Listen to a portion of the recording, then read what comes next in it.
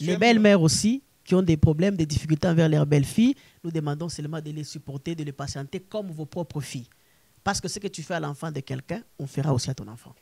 Voilà, c'est ça. Voilà, cette émission est terminée, très chers téléspectateurs. Mais avant de finir, euh, on va procéder à notre jeu habituel. Maman Solange, vous le savez très bien.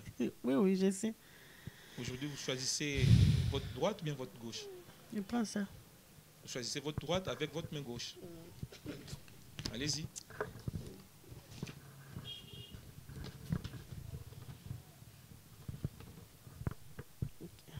Je lis les noms Oui. Maman Irène Mandako. Vous la connaissez? Oui, je la connais. Vous avez une minute? Oui. Voilà, j'aime la maman. Euh, une fois, elle a travaillé à l'église La Grâce. On était avec elle. Et euh, j'ai aimé sa façon de prêcher. Je sens qu'en elle, l'Esprit de Dieu euh, agit. Hein. il lui donne vraiment des, nouvelles révélations dans la parole. Et elle, a vraiment, elle, est, elle est dynamique. Elle a une force exceptionnelle. J'apprécie beaucoup sa façon de faire, sa façon de prêcher et tout ça. Alors Dieu a permis que je puisse euh, participer.